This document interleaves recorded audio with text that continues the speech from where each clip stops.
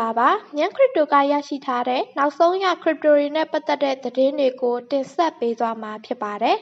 ။ Blur ရဲ့ Airdrop Season 2အတွက် Trader တွေပြင်ဆင်နေတယ်ဆိုတဲ့သတင်းအပါအဝင်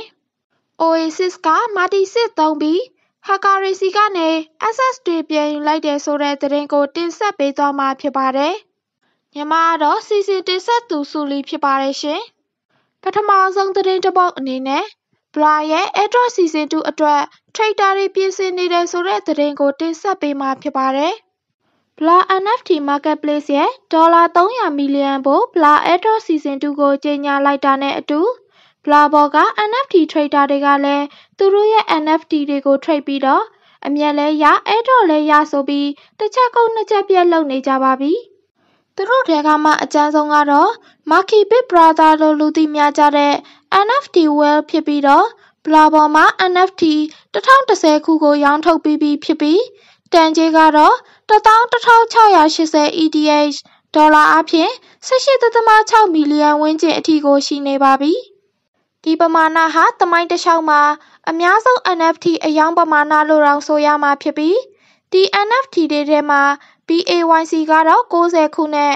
MAYC ကတော့ 191ခုအထိပါဝင်နေပြီးတော့ Other NFT ကတော့ 308 ခုအထိပါဝင်နေတာဖြစ်ပါတယ်။မာခီဟာ ဒီ NFT တွေကို ရောင်းထုတ်ခဲ့ပြီးတော့ NFT 992ခုကိုလည်းပြန်ဝယ်ခဲ့ပါတယ်။ဒီလိုလုပ်ခြင်းအပြင်ဝယ်ရောင်းလုပ်တာကနေလည်း အမြတ်အစွန်းအချို့ရရှိမှာဖြစ်သလို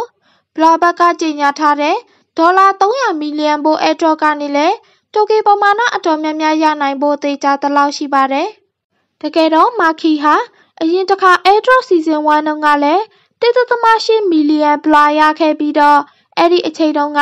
ဒေါ်လာ1.3မီလီယံအထိတန်ကြေးရှိခဲ့ပါတယ်။ဒါပေမဲ့မာခီဘက်ကဒီလိုမျိုးရတဲ့ဈေးနဲ့ရောင်းထုတ်လိုက်တဲ့ NFT collection တွေရဲ့ floor price တွေဟာ10ရာခိုင်နှုန်းဝန်းကျင်လောက်အထိကျဆင်းသွားခဲ့တာကြောင့် အခြားသောဈေးကွက်တွေမှာထိခိုက်မှုတွေဖြစ်စေခဲ့ကြောင်းလည်းဝေဖန်နေကြပါတယ်။နောက်ထပ်သတင်းတစ်ပုဒ်အနေနဲ့ Oasis က Multi-sig သုံးပြီး Hacker တွေဆီကနေ Access တွေပြန်ယူလိုက်တယ်ဆိုတဲ့သတင်းကိုတင်ဆက်ပေးမှာဖြစ်ပါတယ်။လွန်ခဲ့တဲ့တစ်နှစ်တုန်းက Hacker တွေဟာ Solana အခြေပြု Crypto Bridge တစ်ခုဖြစ်တဲ့ Wormhole ရဲ့လုံခြုံရေးအားနည်းချက်တစ်ခုကနေတဆင့်ဒေါ်လာ325မီလီယံခိုးယူသွားခဲ့ပြီးတော့ သမိုင်းတစ်လျှောက်အကြီးဆုံး hack ခံရမှုတွေထဲကတစ်ခုဖြစ်ခဲ့ပါတယ်။ခိုးယူသွားတဲ့ access တွေကိုပြန်ပေးဖို့အတွက် Wormhole ဘက်ကကမ်းလှမ်းခဲ့ပေမဲ့ hacker တွေကတော့ပြန်မပေးခဲ့ပါဘူး။ဒါကြောင့် Wormhole ဘက်ကအပြင်အဖွဲ့အစည်းတွေကရောအစိုးရအဖွဲ့အစည်းတွေဘက်ကပါစုံစမ်းစစ်ဆေးမှုတွေစတင်ခဲ့ပြီးနောက်2023ခုနှစ်ဖေဖော်ဝါရီ21ရက်နေ့မှာတော့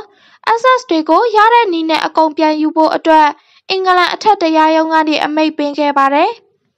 ဒါကြောင့် DeFi platform တစ်ခုဖြစ်တဲ့ Oasis နဲ့ Wormhole ရဲ့ Jump Crypto တို့ပေါင်းပြီးတော့ဒေါ်လာ140မီလီယံဖိုး access တွေကိုပြန်ယူနိုင်ခဲ့ပါတယ်။ရှင်းရှင်းပြောရရင်တော့ Oasis ဟာသူတို့ရဲ့ smart contract ကို Oasis Multi-sig Access နဲ့ပြင်လိုက်ပြီးတော့ hacker ရဲ့ wallet ထဲကနေ access တွေကိုပြန်ယူလိုက်တာပါပဲ။ဒါဟာ wormhole အတွက်တော့ကောင်းတာဖြစ်ပေမဲ့ DeFi တွေရဲ့အနာဂတ်အတွက်ကတော့စိုးရိမ်စရာပါ။ အခုချိန်ကတော့ hacker တွေဆီကနေပြန်ယူတာဖြစ်ပေမဲ့နောက်ပိုင်းမှာအစိုးရကအမိန့်ပေးလိုက်တာဒီလိုမျိုးလုပ်နေမယ်ဆိုရင် Decentralized Finance ဆိုတာနာမည်ပဲရှိတော့မှာဖြစ်ကြောင်းကို Twitter ပေါ်မှာအကြိတ်နယ်ဆွေးနွေးနေကြပါပြီ။ Oasis ဘက်ကတော့ဒီလိုမျိုး Multi-sig ကိုအသုံးပြုတာဟာ User Access တွေကိုကာကွယ်ဖို့ဖြစ်ကြောင်းနဲ့အရင်ကရောအခုပါဒီလိုမျိုးလုပ်ခဲ့တာဒါပထမဆုံးဖြစ်ကြောင်းပြန်ရှင်းထားပါတယ်။